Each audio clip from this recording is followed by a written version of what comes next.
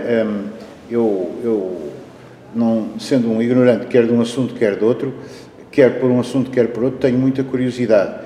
E, e desde logo pela questão da música, porque de facto, tanto o Zizek como salvo Badiou, dois filósofos de facto extremistas, não é? Mas que eu aprecio bastante, sou franco, não é? Uh, têm até, salvo erro, um, um pequeno opúsculo sobre o Wagner, uh, em que discutem precisamente a, a, o papel, o papel da música do Wagner, que eu conheço também mal, porque, confesso, muitas vezes comecei a ouvir composições, elas estão todas no YouTube hoje em dia, e eu passo a minha vida a ouvir, às vezes até faço uma coisa um pouco, um pouco absurda, aqui estar a ler uma coisa que não é fácil e ao mesmo tempo a ouvir música de fundo, de autores bons. E tenho tentado, agora, evidentemente para ouvir uma obra de Wagner é preciso estar a ler não, não, não, sei ler pautas, mas a ler ao menos o, o, que estão as pessoas a dizer, porque eu não sei alemão, não é? Portanto, o que é o enredo, digamos, que está subjacente àquela. Mas é de facto qualquer coisa de grandioso, quer dizer, portanto, eh, eu gostava muito de conhecer isso. Desculpem estar a dizer banalidades.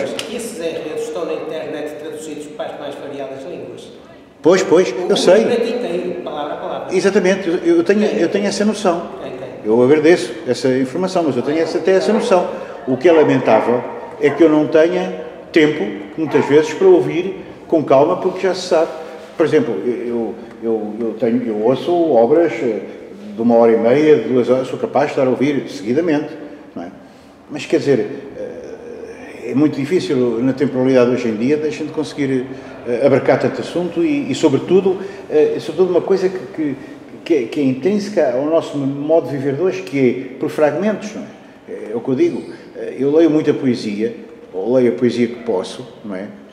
Mas não consigo, há muito tempo, não consigo ler uma obra de ficção, sobretudo uma obra de ficção de grande fogo. Não consigo, porque uma pessoa lê um bocadinho um dia, passados 15 dias vai ler outro bocadinho. É, é um problema, não é? Ok, admiro muito as pessoas que, como, como que prosseguem um trabalho contínuo, não é? Eu, neste momento, por exemplo, estou mais virado para, para, para tentar aprender alguma coisa de filosofia. Interesso-me muito pela obra destes dois autores que já referi. Uh, Badiou conheço muito mal ainda. Interesso-me muito, faço parte do Instituto de História Contemporânea em Lisboa, portanto estou a reciclar-me porque eu venho da pré-história. Eu fui, uh, na minha vida, fui sempre um, uma pessoa que se interessou por pré-história, por isso é que me liguei com a antropologia. Porque...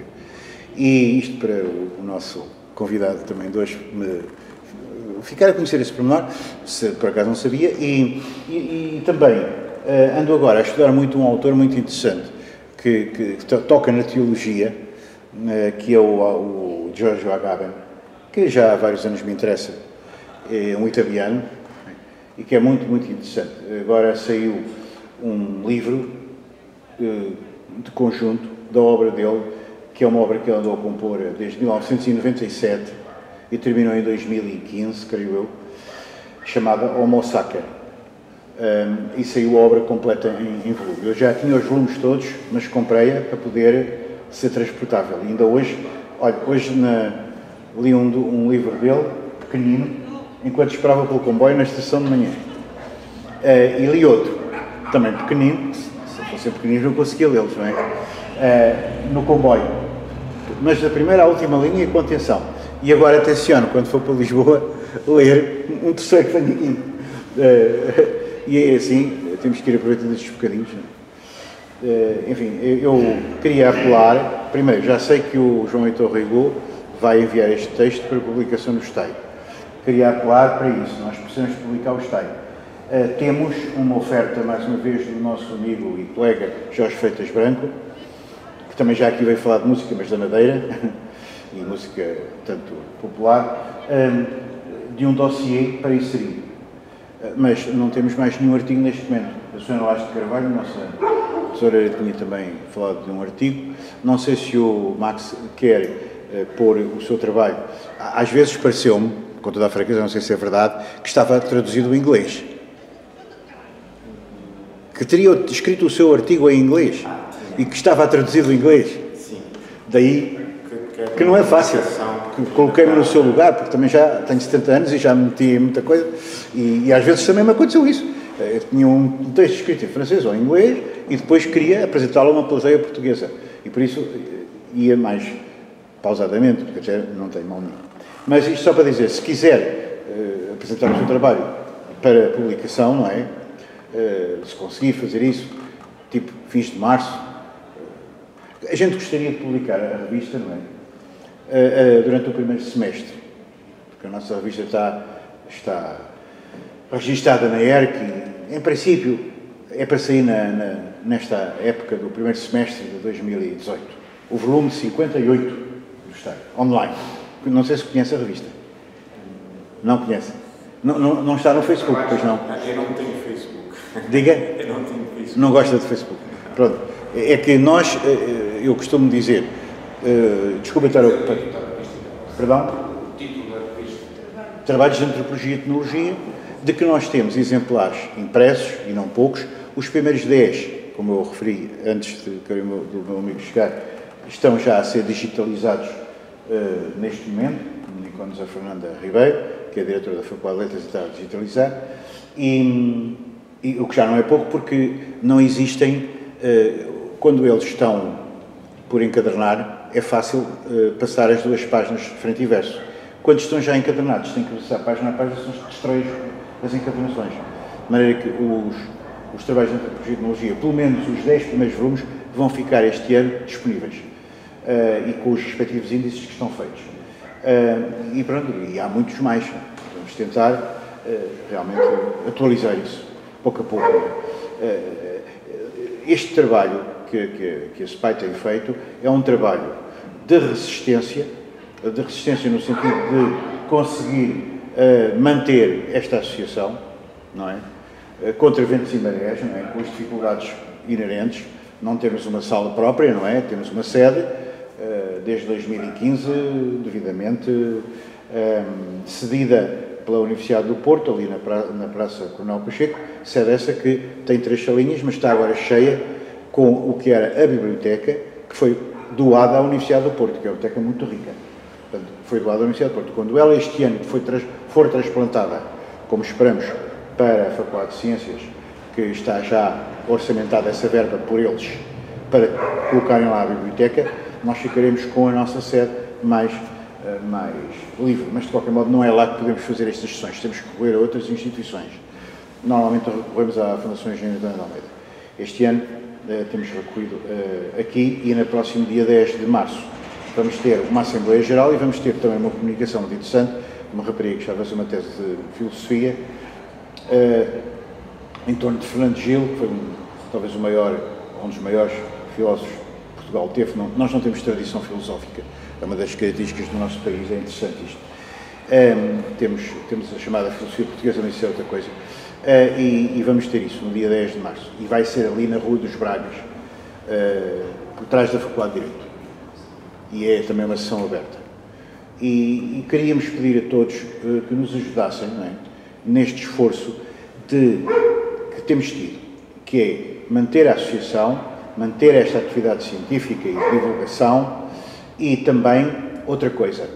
A Sociedade de Antropologia teve o seu tempo ligada uh, a, uma, a uma orientação que não é a orientação que nós temos agora, é? claramente. É? Era uma orientação que era até o arrepio daquela que nós temos agora, é? Era mais no sentido, enfim, uh, de uma tonalidade condizente com o sistema, com com, com, o regime que se implementou em Portugal não é, a partir dos anos 20 e que durou até 1974.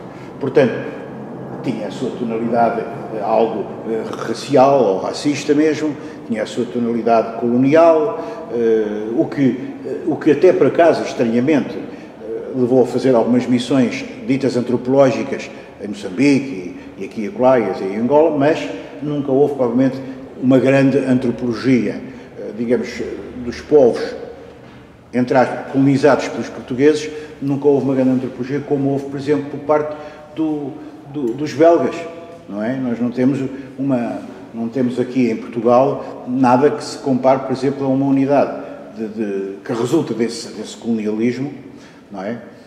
Como é Trevorene, aquele núcleo de Trevorene, de museus e institutos organizados em torno dos estudos africanos eh, junto a Bruxelas, não é? perto de Bruxelas, onde já estive, porque gosto muito, principalmente, da arte africana. Sou sou um grande apreciador, esteticamente, não, é? sou especialista disso. Uh, não, temos, não temos essa tradição. E, e, mesmo o nosso Museu de Etnologia, que é interessante em Lisboa, é um museu pequenino, é? em relação ao que se esperava. E não tem coleções expostas permanentes. Dizer, mas também não temos o museu daquilo que mais caracteriza Portugal, que é, nós somos uma costa.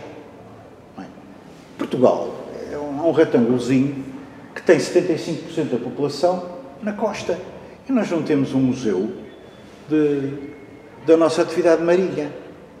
Quando há muitos anos a editorial Caminho me convidou para fazer um dicionário de arqueologia portuguesa, Contatei com uma das pessoas que encontrei aqui no Porto, na altura, que era o Otávio Lixa Filgueiras. Não sei se chegaram a conhecer.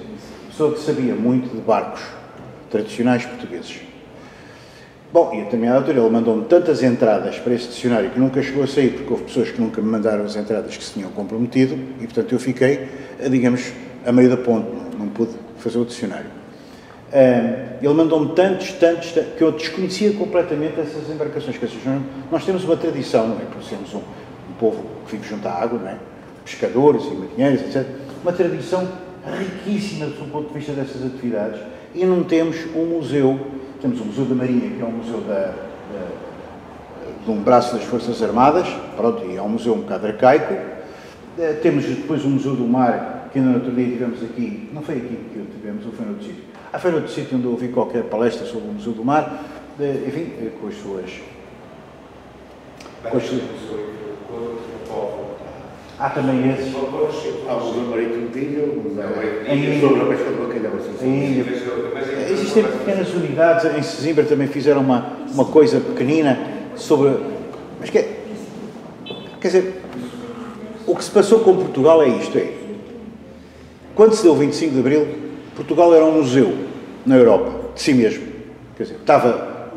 Em muitos aspectos de Portugal, estávamos como quase na Idade Média. Eu encontrei aqui, eu vim para aqui para o Norte, em certas zonas, populações isoladas, não tinham eletricidade, não tinham esgotos, não tinham a mínima coisa.